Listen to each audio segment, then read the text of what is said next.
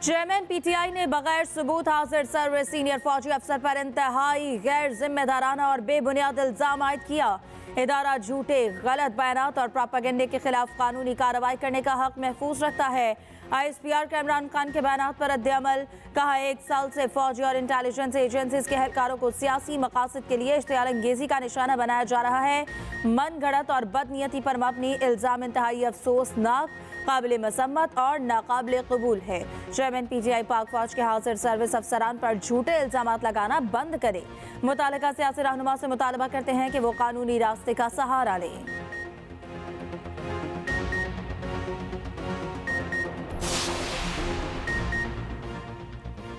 दो मरतबा मुझे कत्ल करने की कोशिश की गई। जब भी तहकीकत होंगी, मैं करूँगा। चेयरमैन पीटीआई इमरान खान का इस्लामाबाद की रवानगी के वक्त गुफ्तगु कहा मुल्क का सबक वजी अजम और अपनी हुकूमत होते हुए मैं एफ़ आई आर नहीं दर्ज करा सका।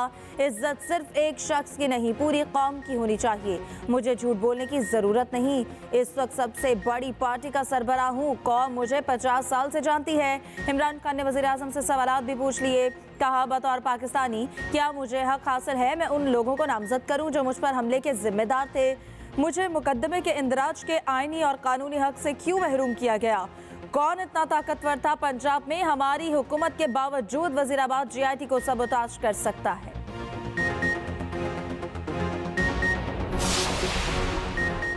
मैंने ही इमरान खान पर हमले की तहकीकत के दौरान फौजी अफसर के खिलाफ मुकदमा दर्ज करने से रोका था। सबक वजी अला पंजाब परवेज लाही का निजी टीवी को इंटरव्यू में एतराफ।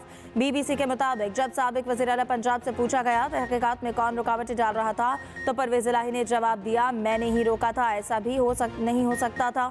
इनका अपना इदारा मौजूद है। आप किसी जज के खिलाफ भी एफआईआर नहीं दे सकते। परवेज इलाही ने मजीद कहा, पुराना वक्त चला क्या है? अब नए दौर में दाखिल हो रहे हैं। आईएसपीआर भी हमारा अपना इदारा है। जब परवेज इलाही से पूछा गया, क्या इमरान खान पर हमले में कोई अहम शख्सियत मुलविस थी? तो उन्होंने कहा, तहकीकात हो रही हैं। इंसाफ मिलना चाहिए।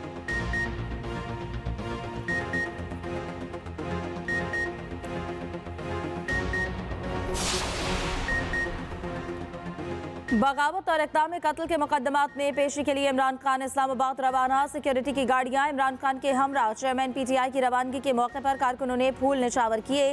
इस्लामाबाद हाईकोर्ट इमरान खान के खिलाफ मुकदमात की सवा ढाई बजे करेगी। इमरान खान अपनी लीगल टीम के हमरा इस्लामाबाद हाईकोर्ट में पेश होंगे। दूसरी जानब, इस्लामाबाद में दफ़ा एक सौ चवालीस नाफिज है। किसी भी किस्म का इज्तम गैर कानूनी होगा। इमरान खान अबूरी जमानत के लिए इंसदाद दहशतगर्दी अदालत भी पेश हो सकते हैं।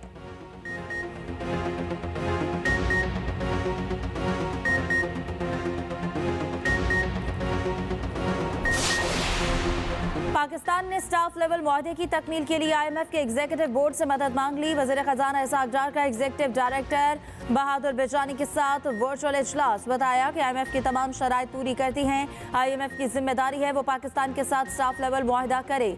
बहादुर बेचानी ने इसाक डार से नए आईएमएफ एग्रीमेंट में शमूलियत के बारे में पूछा। इसाक डार ने जवाब दिया, हम तैयार हैं।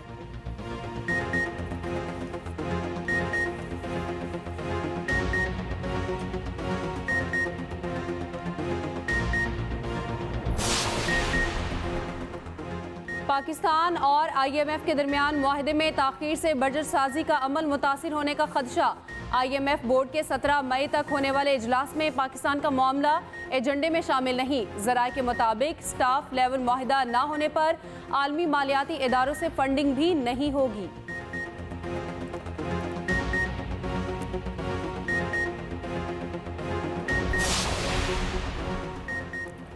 कौमी असम्बली का अजलास जारी। तोहन पार्लियामेंट बिल आज पेश किए जाने का इम्कान बिल के तहत। तोहन पार्लियामेंट पर मुख्तलिफ़ सजाएँ तजवीज़ की गई। पार्लियामेंट की तोहन पर किसी भी हुकूमती या रियासती अहदेदार को तलब किया जा सकेगा। मुजवजा बिल हुकूमत की बजाय प्राइवेट मेंबर बिल के तौर पर लाया जाएगा। बिल पर मुशावरती अमल मुकम्मल कर लिया गया।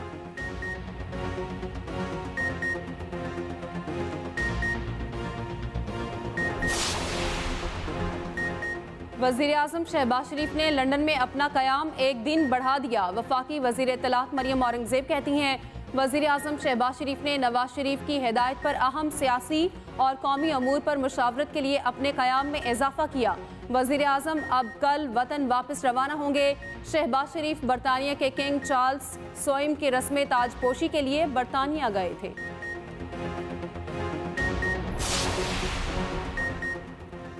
जजेस के असासों जायदाद की तफसलत और टैक्स रिटर्न की तफसलात तलब। पी ए सी ने जस्टिस मुजाहिर नकवी के खिलाफ।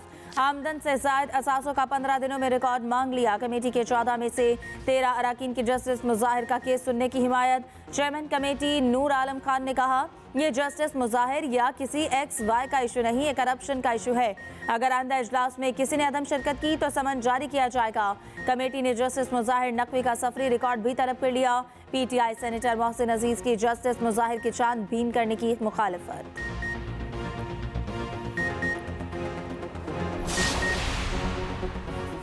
साकिब निसार के बेटे की ऑडियो फरानजिक के लिए एफआईए को भिजवा दी गई। चेयरमैन असलम भुतानी की जेर सदारत, खसूसी कमेटी का इजलास। खसूसी कमेटी का वजारत दाखिला को ख़त लिखने का फैसला। कमेटी वजारत दाखिला को एफ़ आई ए से मामले की तहकीकत की हिदायत देगी। नजम निसार को कमेटी में तलब करने का भी फैसला। नजम साकिब को पहले बुलाया जाए या एफ़ आई ए तहकीकात के बाद कमेटी अरकान तकसीम।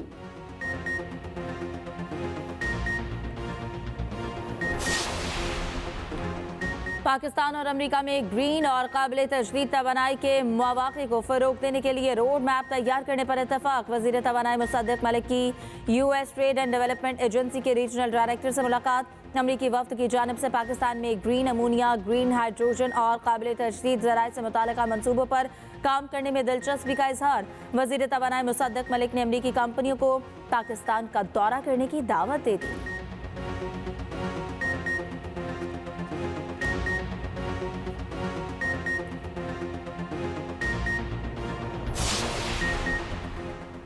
पाकिस्तान में 19 साल बाद एथोपियन एयरलाइन की परवास अदेस अबाबा से बरह रास्त कराची पहुँच गई।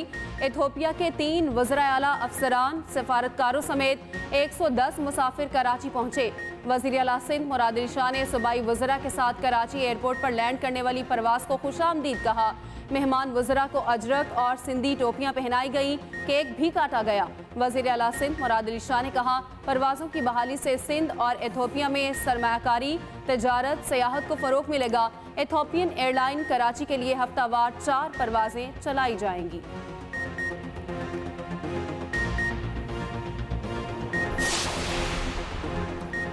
हम भरपूर तैयारी से इलेक्शन लड़ेंगे। पूरे मुल्क के जयाले तैयारी करें। मुस्तबिल जयालों का है। आसिफ अली सरदारी का ऐलान। शरीक चेयरमैन पीपल्स पार्टी ने कहा, बिलावल भुट्टो ने बतौर वज़ीर खारजा अपनी सलाहियतों का लोहा मनवा लिया। बिलावल अपनी अजीम वालदा की तरह चारों सूबों की जंजीर है। धमकियों के बावजूद बिलावल भुट्टो भारत गए।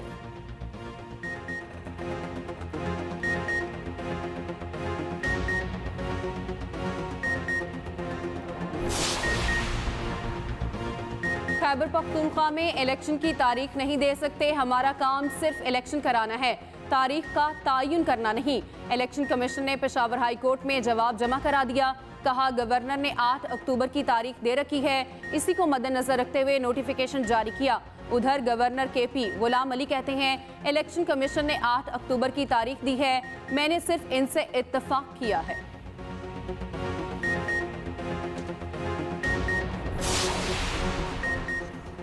पाकिस्तान की आबादी 24 करोड़ तैंतीस लाख से तजावज कर गई। अब तक की मरदमशुमारी के अदादशुमार भी जारी। पंजाब में 11 करोड़ तिरानवे लाख से ज़्यादा अफराद को गिरा जा चुका है।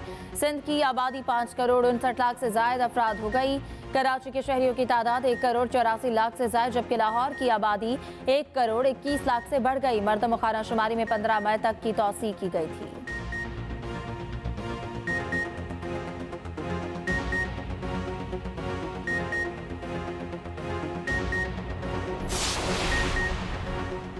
हुकूमत ने कौमी बचत स्कीमों के शरा मुनाफा में रद्दबदल कर दिया। स्पेशल सेविंग सर्टिफिकेट का ओस मुनाफा, सत्रह आशारिया चार फ़ीसद मुकर सेविंग अकाउंट्स पर शरा मुनाफा अठारह आशारिया पाँच फ़ीसद से बढ़ाकर उन्नीस आशारिया पाँच फ़ीसद कर दिया गया। छः माह के शॉर्ट टर्म सेविंग सर्टिफिकेट्स का मुनाफा बीस आशारिया आठ, दो फ़ीसद मुकर एक साल के शॉर्ट टर्म सेविंग सर्टिफिकेट का मुनाफा बीस आशारिया आठ फ़ीसद कर दिया गया।